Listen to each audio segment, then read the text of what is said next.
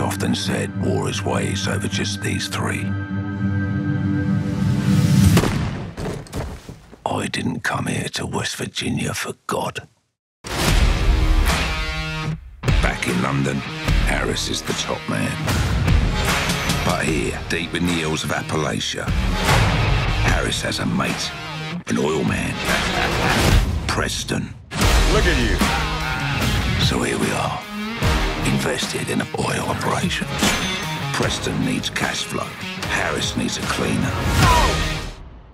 I got a loan.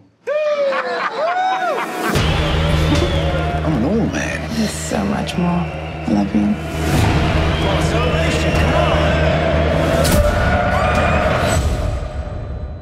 Fee? Fiona? She's missing. I need you in London. I'm not leaving till I find her.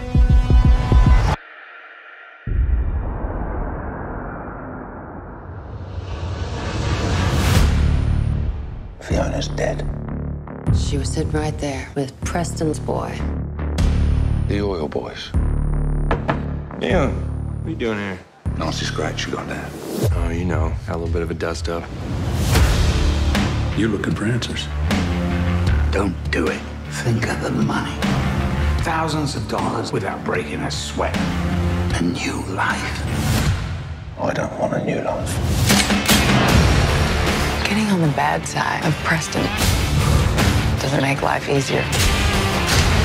It's a situation that needs finesse. If I can't stop a beast like him,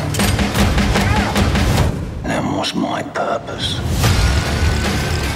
He ain't gonna go lightly. I guess we're at odds then. Retribution. Retribution. I didn't come here to West Virginia for God.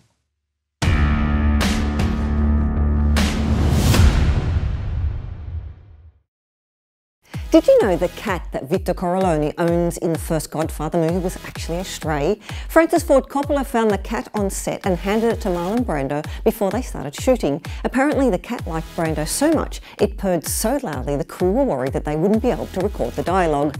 We wonder if Brando kept the cat afterward. Hmm. Do you like my t-shirt? You can get one for yourself in the link in the description.